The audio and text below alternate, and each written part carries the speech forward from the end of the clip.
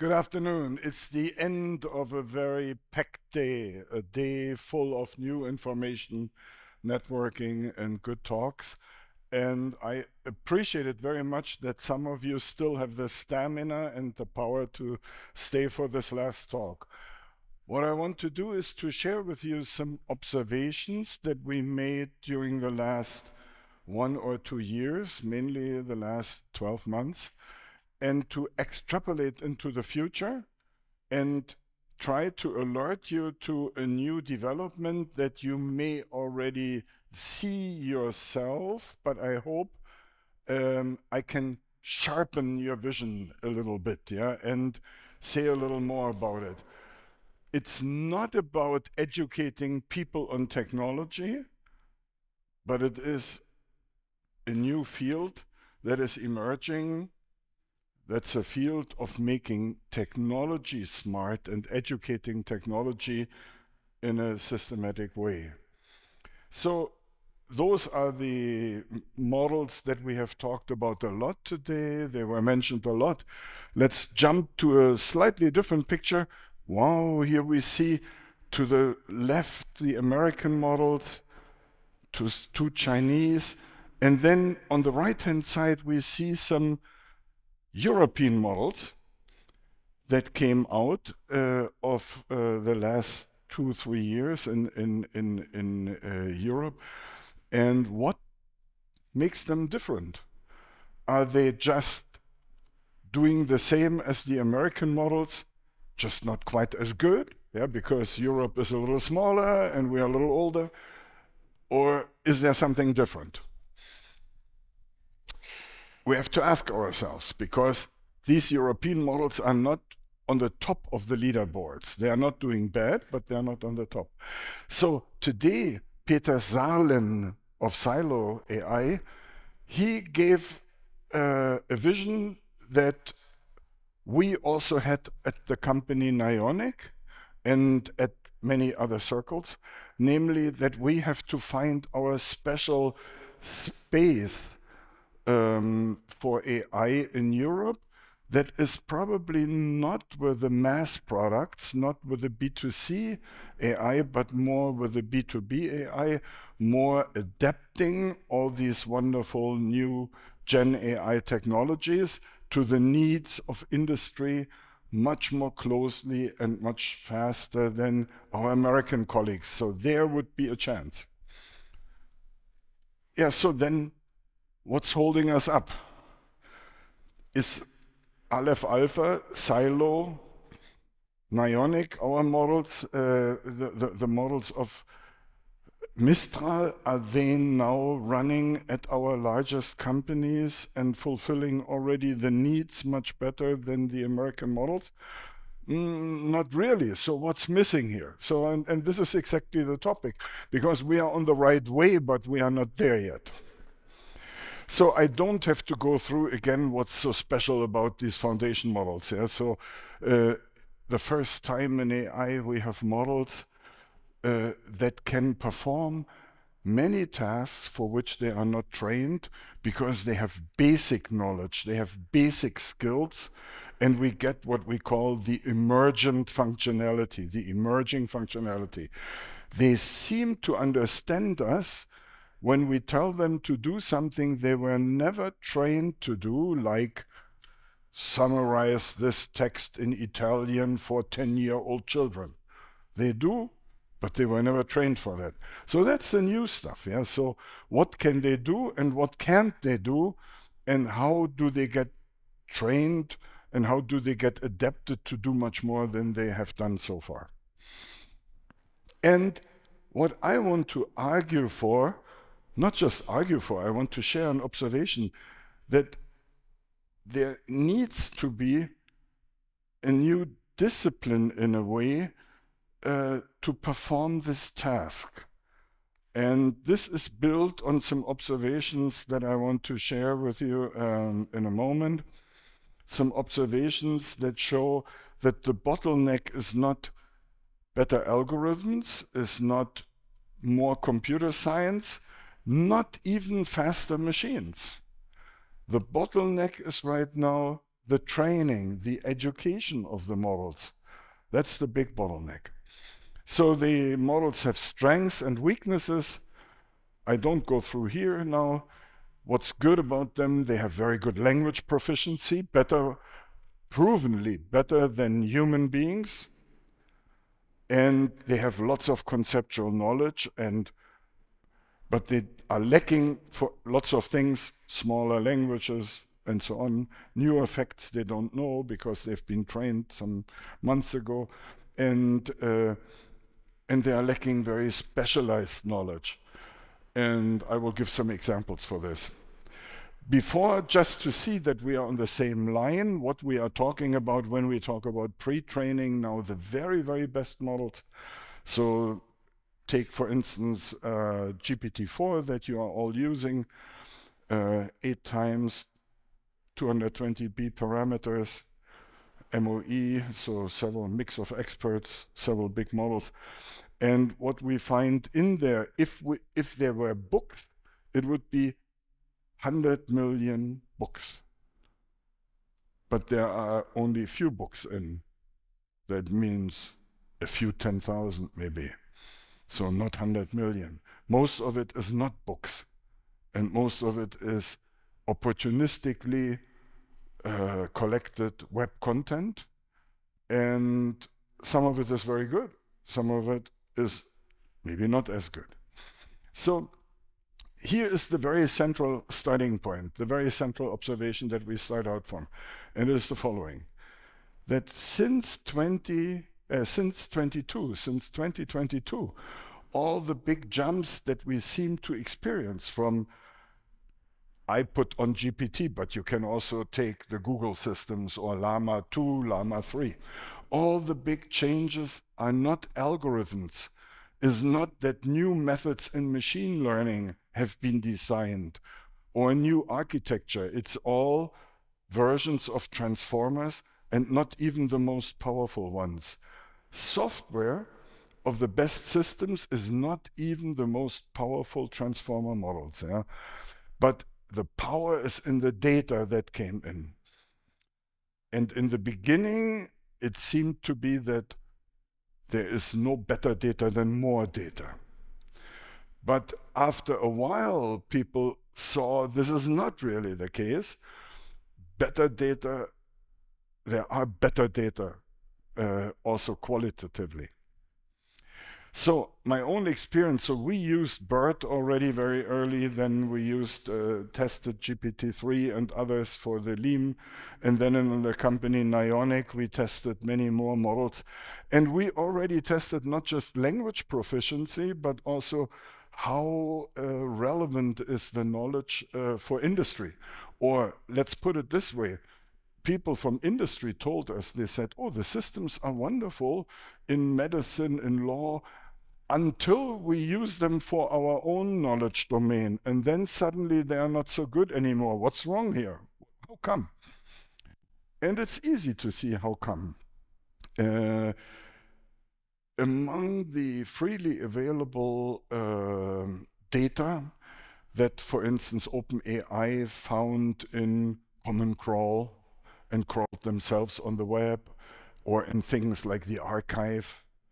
Um, I will come to show, show you more concrete uh, data sets. Um, among all of them, certain areas are very well represented. Ah, I will show you.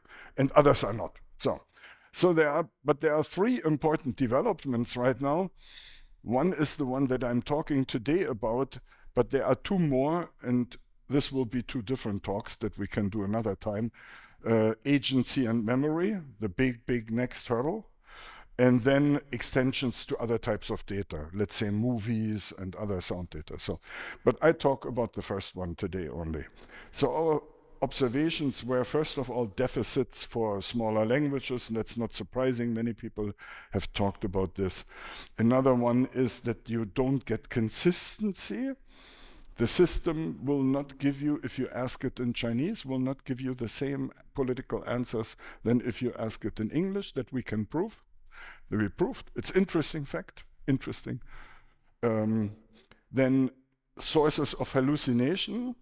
I won't talk about hallucination, but just say a little bit on it because it has to do with it. Yeah, my argument is really, uh, and I cannot talk about it at detail, is that if we solve the problem of machine education, lots of the hallucination will go away, just disappear. Why? Will the machines then be suddenly discrete and non-probabilistic? No, stay probabilistic.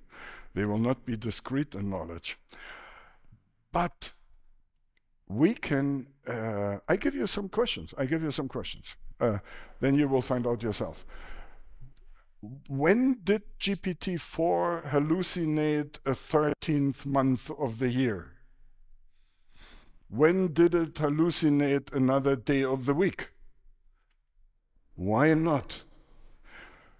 If you ask it a lot about uh, daily politics, did it invent a new chancellor of Germany? No, it didn't. It may have told you the wrong one if it's trained a while ago. Yeah, it, sometimes it mixes things up. So the reason is really the more secure the knowledge is, the more statistically it is secured by redundant knowledge, not just single one, the better it becomes.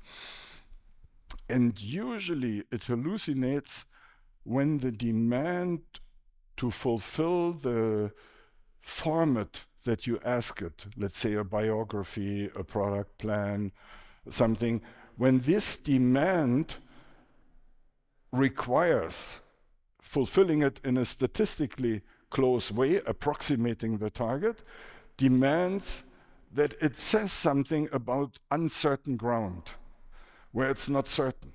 So you ask it, give me the products of some Japanese company, and it makes up some products. Why? Because it didn't have enough secure ground on that. So the system, for instance, made up deaths of people. The former boss of DFKI, my former boss, Wolfgang Wahlster, told me, ChatGPT thinks I'm dead. I looked up my own biography and it said I died in 21. Why? And I had the same experience with a friend of mine. She's a singer in New York. And one day I searched for biographic knowledge and it told me that my friend is dead. I was shocked. I was really shocked. I mean, Wolfgang Wahlster was not shocked, yeah, because uh, he is he is a self-aware person. Uh, he knew that he was still alive, but I was shocked. So I immediately tried to find out from friends whether my friend Sandra had really died. And then she was still alive. I was relieved. Wolfgang Wahlster had retired a little before, and the system didn't see as much publications and things of him anymore, and it was simply more probable that he was dead than alive. And my friend, during the pandemic time, didn't have new records, new, no new albums, and didn't have any any any uh, performances, and the system try to finish the biography in a probabilistically correct way. Okay, so, but that's just a little detour. So coming back to the main, ah, going back first, uh, sorry, I forgot one thing. Because the last thing is the important, the insufficient specialized competence in certain areas. So the system knows a lot about medicine, knows a lot about law, about computer science, but when it comes to special topics in chemical engineering or in machining, even, even things like this, yeah, uh, the system fails. So why? So it's manufacturing industries. The manufacturing industries, they don't want to use text, but they work on physical objects. So they, at first glance, they say, why do I need language uh, technology? Um, but in the end, uh, they do, and uh, there are so many applications, I will not go through with you through all of them. Um, to the left, you see applications that you do already with pre um, Gen AI, AI. So that's um, normal um, supervised training systems, prediction, classification, and so on, robot movement, and so on. So for this, you don't need language technology, right? Uh, language models. maybe not. I'll come back to that. So in the middle is a little bit of text, manuals, product descriptions, applications, and so on. Yeah, there it can use language technology. And to the right is all the very difficult stuff. Producing program code, um, uh, talking like chatbots, talking to the knowledge bases, and then the lower right corner, this is the most complex stuff, problem solving, helping the company in product planning, production planning, uh, solving very difficult optimization problems that require different disciplines. And the system will be will be very good at this because the system has a much bigger brain uh, the problem there, for instance, in doing the product planning for a new type of automotive uh, automobile takes in Germany four and a half to five years, in China two and a half. Why does it take so long? Because there is nobody who knows all the areas. So there need to be people from regulation, from material science, from production planning, from all the different areas need to come together, designers and so on. And it's very, very complex. Uh, so you think you have it, and then you see, oh, it's too expensive to produce that way. We have to change it again, and so on. It takes a long time. And this is a place where language models that are knowledgeable about all these different things can really help, but only if they are trained in automotive specialization. Not, yeah, it, the brain capacity is not enough. It needs to be trained in that. So, L, large language, ah, I jump over that here. Uh, so it's actually all that stuff that's now in red in the big one can also be done on large language models. But now some of you may ask, why the hell would I go and do normal quality maintenance, image recognition with a big foundation model? Why would I do prediction of demand or uh, uh, supply chain monitoring with a large language model. Uh, I, I, can do that with a traditional AI model just fine. And you're right, right now it's not necessary and it's not needed, but it will be. Why will it be? Because language models become very cheap, become much cheaper, and if you put your data about demand for, for demand forecasting yeah, you take the demand figures of the last years in. Normally, you would just do time series uh, uh, calculation on it, yeah, and then do predictions. But if you do it this way and you tell the machine what you put in, the machine knows what type of systems there are. It knows, oh, in summer months, there's a different demand. You don't have to tell the system was a summer month. Or you have to, the system will know and say, oh, there was a dip, but this was during a financial crisis at Wall Street because it can get all the connections. So in the end, we will be surprised that even lots of tasks that right now we do on specialized AI systems in the future will be done as fine tuning on systems that at first glance seem to be too smart to do it. Right now it's a question of money, of, of cost, but it will happen. I mean, we can be sure. Why start with a dumb system if you have a smart system and do even a simple task? Okay, so and down where the red circle is, this is the kind of stuff that you can only do if you have agent systems, if you have multi-step reasoning, which the systems now don't have. Yeah, so but this is a different talk. So this is the paradigm of machine teaching. Machine learning is clear. You give a problem, you have a problem, and uh, then you get a set of available data, and you have to find the algorithms for solving it. But this is not what was going on in jumping from ChatGPT to GPT-2 and 3 and so. No, it was the same algorithms, the same system. It was only the data and the way things were taught. And then people had all these this is the pile, yeah, the pile, one of these uh, things. And you can see now PubMed Central to the All Medicine archive all these things very big. where's all the rest of industries? Yeah, I cannot see it here. So you can see already that the system, it's because the, it, the, the, the pre-training data were collected opportunistically uh, because um, Common Crawl does not log in and ask Springer Science for permission to download a book that's missing. So uh, it's very opportunistically, and most of uh, business of uh, industry is not covered. But we know that it is possible, and this is now machine teaching. Uh, OpenAI showed us if you know exactly in which aptitude tests the system is not performing very well, and you take the additional material, then you get here between 3.5 and 4.0 GPT get the following improvements. So that's machine teaching. Machine teaching, uh, this is uh, multilinguality. Machine teaching is also this is a very interesting paper, but we did similar um, uh, analysis for maintenance and uh, reliability. People checked whether uh, the, uh, the systems uh, GPT-4 are already as good as people. And here, in this case, they are, but actually it's a textbook maybe at the undergraduate level. Yeah, it's a bachelor textbook. So basically the systems in industrial knowledge are as good as bachelors, sometimes a little better, but never as good as the best uh, expert that they will collaborate with and that eventually they may substitute. So that means there's a long way to go, except in some areas in medicine, because all the PubMed stuff is in there and so on. Yeah?